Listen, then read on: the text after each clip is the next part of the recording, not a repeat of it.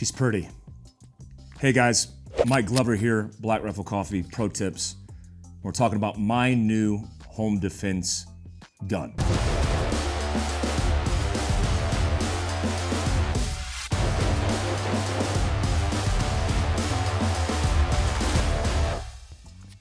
Um, man, your home defense setup is not going to be exactly how your everyday carry setup is going to be. A lot of people prefer compact, subcompact, and then full size for likely their home defense.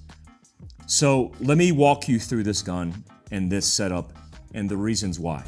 I've become a fan of SIG, and that's taken me years. Uh, one of the main reasons I like SIG is because a lot of my buddies work for SIG, but those buddies come from a line of special operations as well as professional shooters, and they're the best in the world.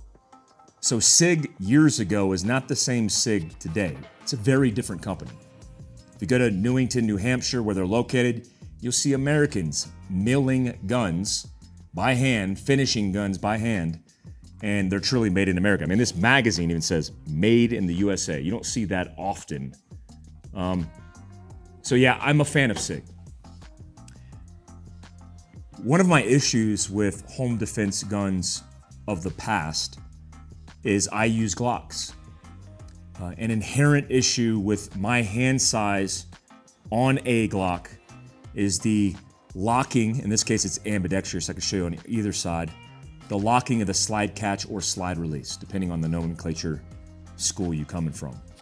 So if my support hand's on here on this side and I pin it, which I do often on a Glock, then it's not reliable and repeatable. The things that I look for in a self-defense bulletproof pistol. So I started shooting SIGs and they started getting better. I had a P220 double action, single action SIG, full size, that I used to compete in IDPA with. Except I would always get my butt kicked with that pistol. Now these striker fired pistols are changing the game. This particular pistol is the 320X Carry Legion. Their Legion series have stainless steel in the frame, the slide, and they have carbon steel in the barrels. They're flat triggers, striker fired, and not only are they, um, man, aesthetically pleasing, but they're the best shooting guns, the best shooting pistols I've ever shot. Um, so now I look at this pistol and go, man, this is perfect for self-defense. Would I use a can? I don't know. My thing is like, why not use a can? This is their 3D printed printed can, known as the MODX-9, which has different 3D printed baffles, where you could reduce the amount of baffles to save space. I mean, it gets louder, but you could chop this down in segments where this is like one, two, three, four, five, six, and seven, and you could have this setup.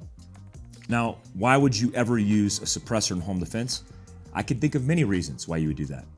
One, your position and giving away your position with a normal uh, barrel where the bullet and the gas exhaust and it gives away your position. In this situation with shooting subsonic, you're going to have a signature, but it's not going to be as loud and as big visually. So you might have this particular setup for home defense. This setup also has uh, a front night sight that is risen for suppressors, also for red dots. I chose to put a Leupold DeltaPoint Pro. Um, I love this flat dark earth. And it has a night sight capability as well. This has an infrared dot that I could see only with NVGs. Now, some would ask, well, Mike, normal, normal people don't get suppressed guns with infrared capability and run night vision in self-defense. Well, you better level up. Level up your game. I'm thinking about the rural circumstance. If I go out into my yard because I heard something out on my land, you use white lights, it's going to give away your position. I just hit up Surefire because I want to know what's the best Surefire setup with an infrared capability that maybe emits a flood and a light. an infrared light, a beam of light, a laser, but it's not visible with the naked eye because I have night vision. When I go camping or overlanding, I typically have night vision. Not necessarily war fighting, I don't do that anymore, um, but it's for looking at the stars, but also force protection. Uh, now, a lot of people think that talk is crazy. Well, it's not crazy to me when I'm talking about protecting my family. I want the best pistol made for self protection and home defense. 17 round magazine, and I would use full metal jacket.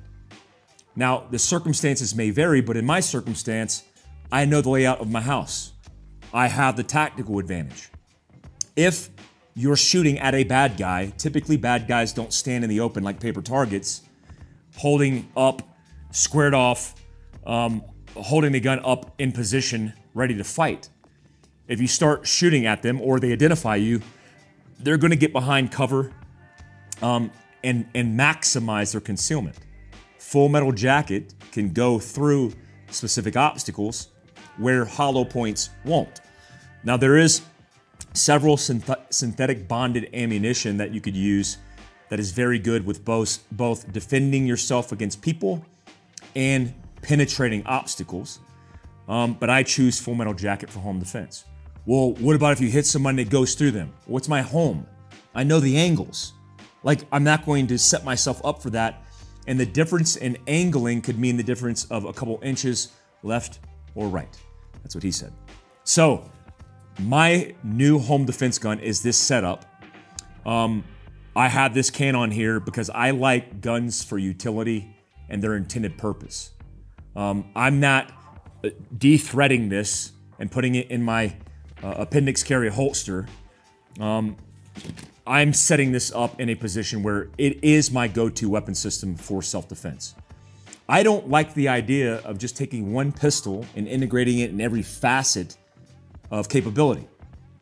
I like the idea of getting one intended tool for the intended purpose, optimizing it for that intended purpose, and then using it that way. Sure, I could de-thread this and it's not difficult to do. Um, put it in a, a concealed carry holster and then carry it, but I choose to use this for specifically home defense. I like the red dot. Um, I, I, need to run an integrated light, which I will add to this. It's not completely done, but I wanted to show you this for pro tips um, because I'm excited about it. I mean, look at this thing. Uh, is that when we roll the B-roll? Like, roll that B-roll.